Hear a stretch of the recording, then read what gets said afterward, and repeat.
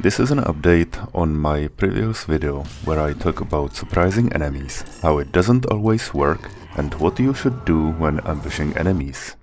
I got a comment saying that everything works if you do it from turn-based mode.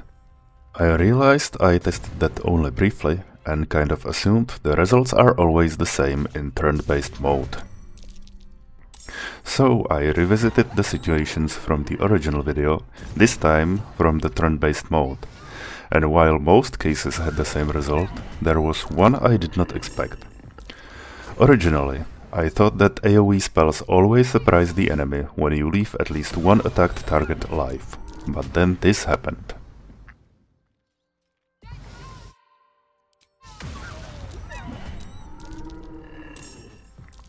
I thought, Wait, this should surprise them, right? Why doesn't it work now? So I tried again, and it worked. So I tried again, and it didn't work. So I thought, what's going on? Why isn't the result the same every time? And then I remembered a different situation. I didn't kill the Mephit, which usually leads to a surprise, but this time it didn't.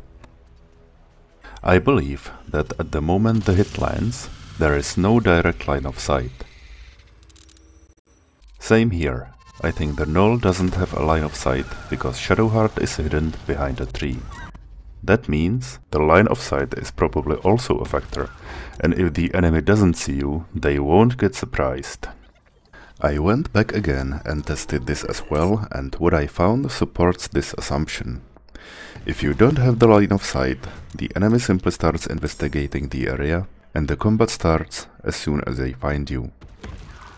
So there you have it, a few more information about surprises. Hopefully this will help your ambushes to go the way you want. Good luck and see you in the next one.